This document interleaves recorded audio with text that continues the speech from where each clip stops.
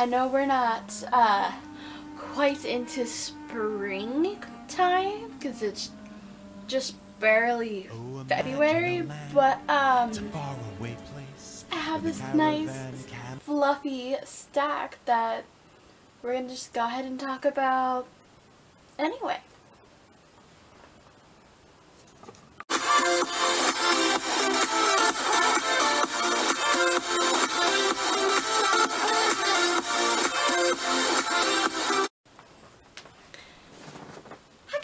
Welcome back to my channel and welcome if you are new. Today we're going to be talking a little bit about what I would like to try to read during springtime, which is very soon. It's almost February. We got one more day left of January, so pre-filming, we love that here. Usually. Alright, so we are going to be talking about what books I would hopefully like to get to in springtime because I have a list for spring reading and then I have if I can get the pages to work please hold while we get things together and then I also have a summer reading list I have a Halloween reading list which I don't have a fall one because I have my Halloween one and my Halloween one lasts from September through October.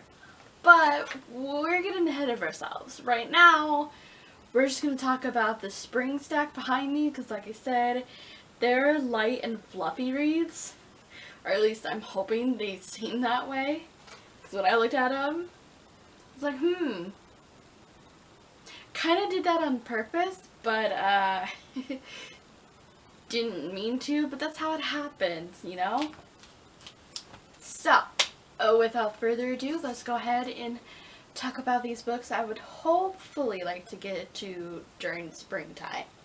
So, the first one I want to try to get into is the filled the fill-in boyfriend by Kasie West. I I think I've read one Kasie West book, but I can't remember the top of my head. Yes, I read Lucky in Love. That's the one I read. Okay. Wow.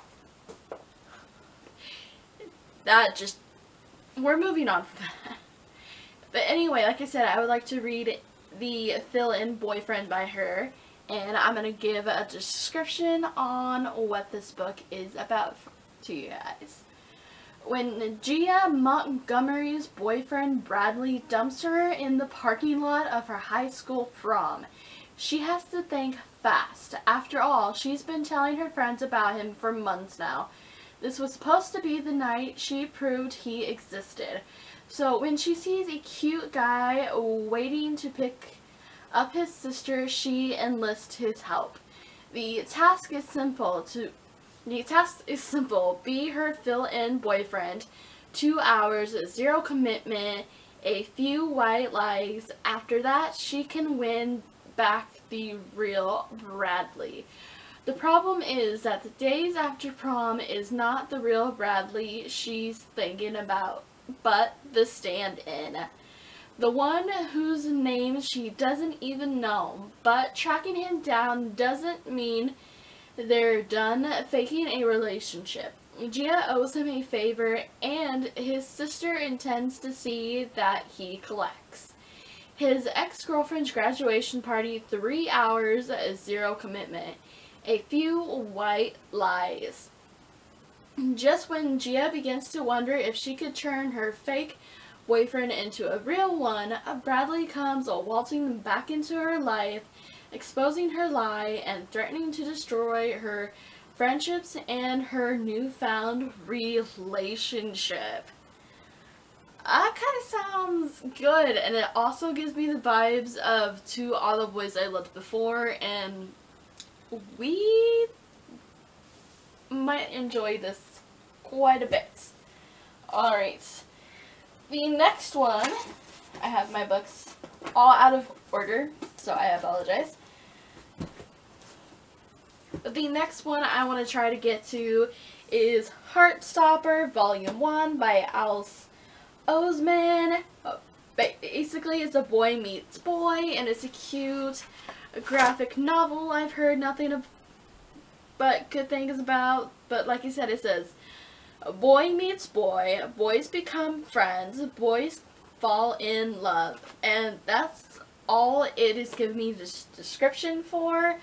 But like I said, I've heard really good things about this, and it's a cute read, and we're going to be all about cute reads for in spring, so like it so much.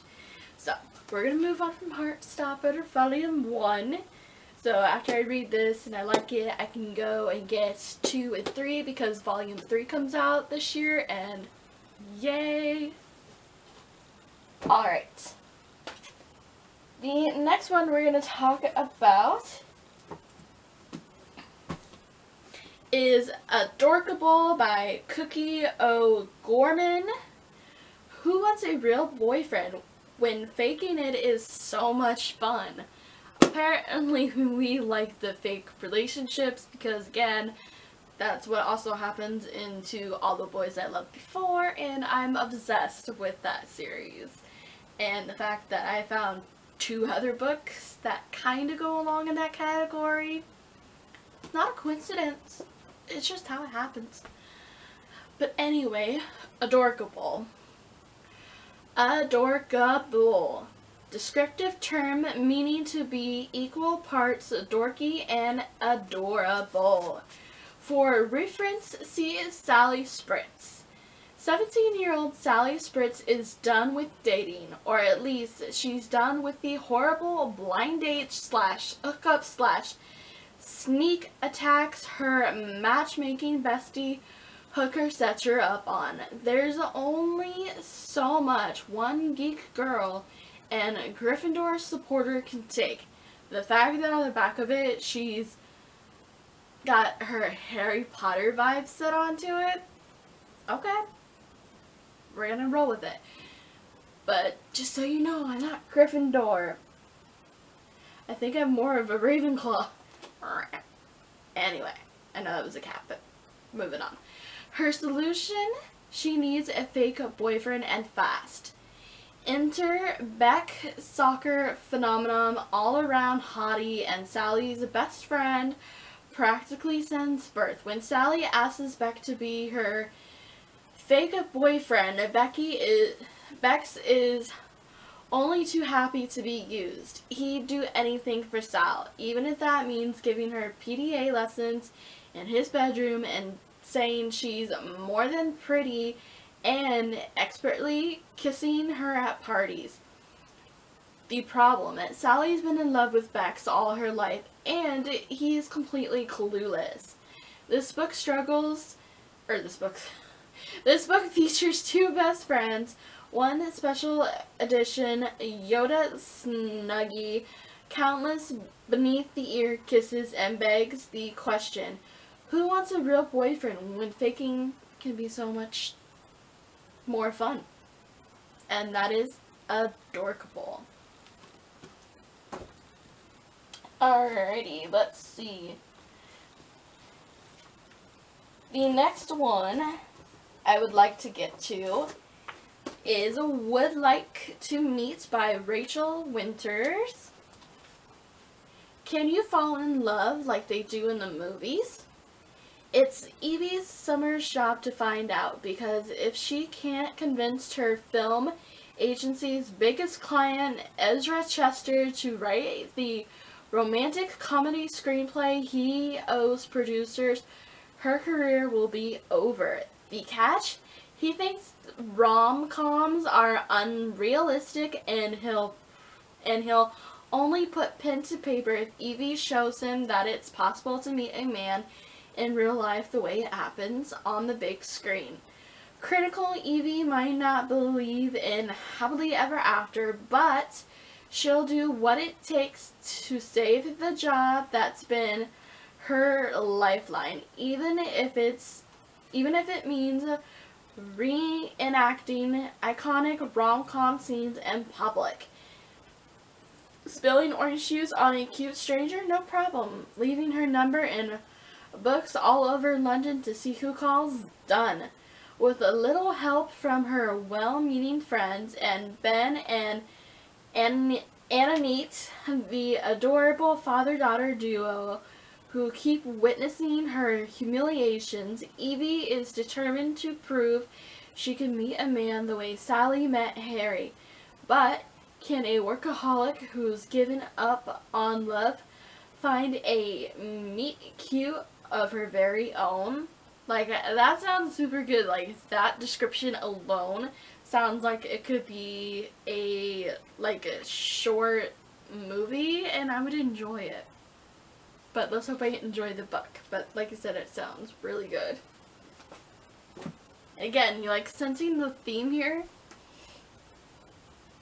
Alright, the other one is another Kasie West book. I've, like I said, I've only read one so far of hers, but I have so many of them. But the other one I would like to try to get to is P.S. I Like You.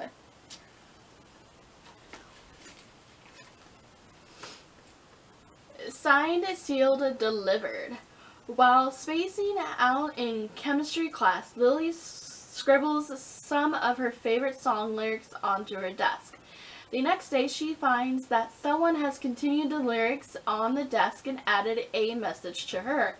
Intrigue. Soon, Lily and her anonymous pen pal are exchanging full-on letters, sharing secrets, recommending bands, and opening up to each other. Lily realizes she's kind of falling for this letter writer. Only, who is he? As Lily attempts to unravel the mystery and juggle school, friends, crushes, and her crazy family, she discovers that matters of the heart can't always be spelled out. Kasie West brings the irresistible wit warmth and sparkle to this swoon-worthy story of love showing up when and where you least expect. And that is a P.S. I Still Like You. Like I said, some of these books are cute and fluffy spring reading. So it kind of gets like the perfect summer vibe get you going if that makes sense. So that's where that goes. Alright, and then the next book I'm going to try to get into is uh, Play Me by Ruby L. Laura Ruby. I had to look for the name because it was on a library book sale and they tend to cover up the first name. So I had to find that. But it sounds really good.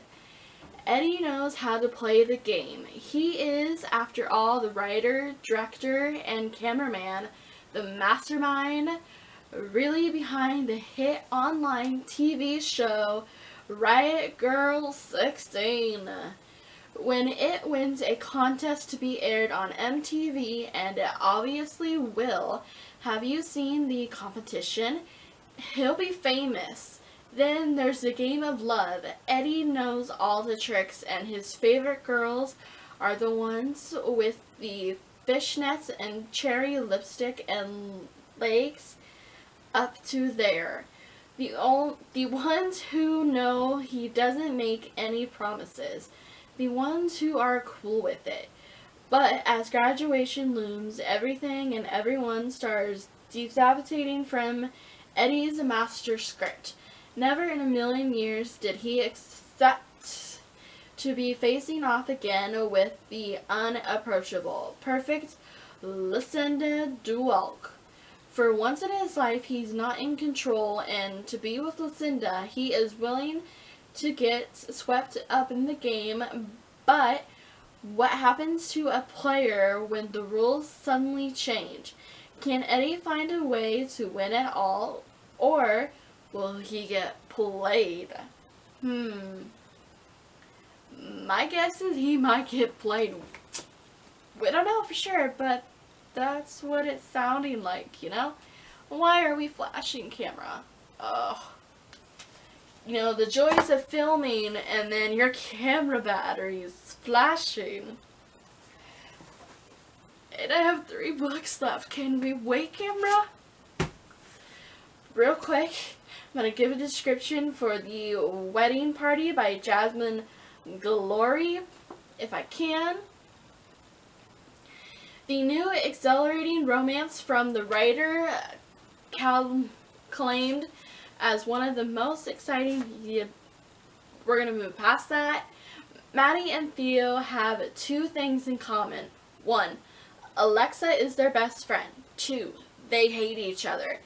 After an oops, we made a mistake night together, neither one can stop thinking about the other. With Alexia's wedding rapidly approaching, Maddie and Theo are Maddie and Theo both share a bridal party responsibilities that require more interaction with each other than they're comfortable with.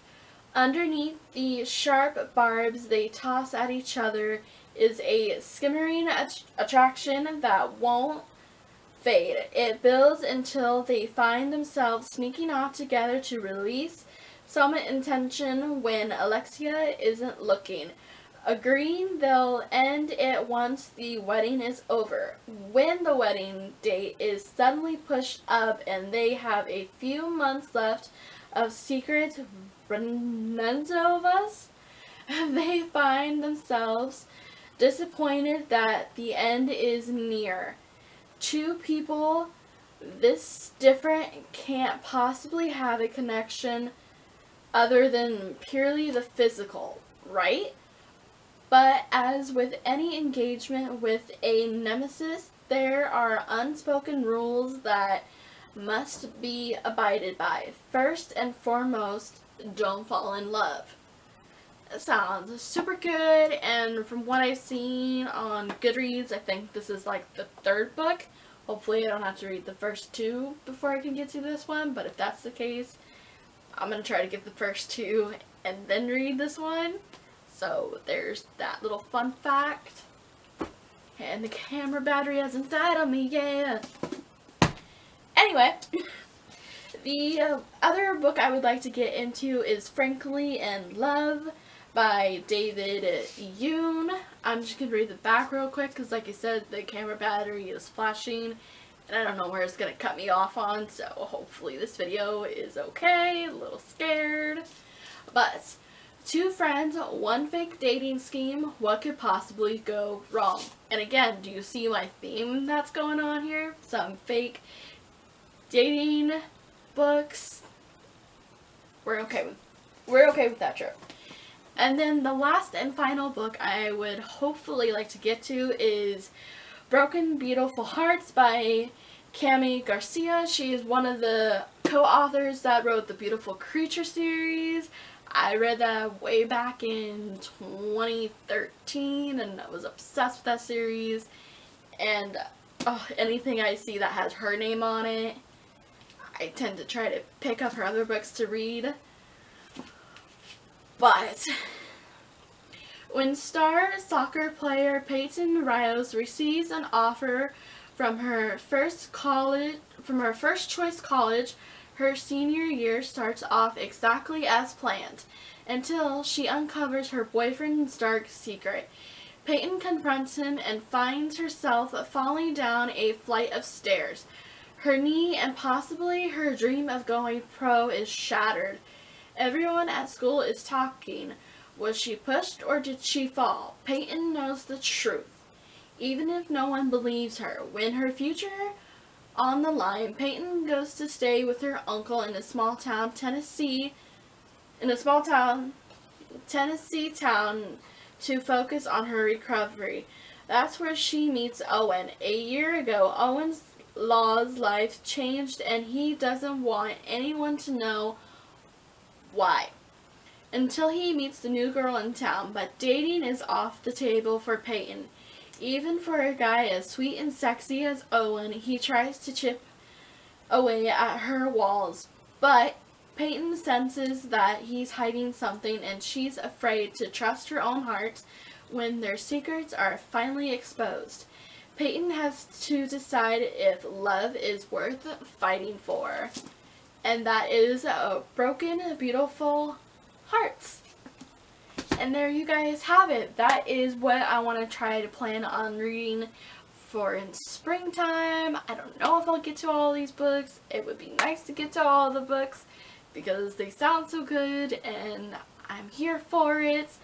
So if you guys are new here, go ahead and hit that subscription if you haven't already and hit the notification bell for when I post more videos because I try to do that frequently when camera battery's not flashing up in the corner. So far the video's still live so we like that trope. But anyway, I hope you guys are having a good day or night and of course get some unexpected reading in because why not? And that is all for today's video, and I will see you guys in a new one soon. Alright, goodbye.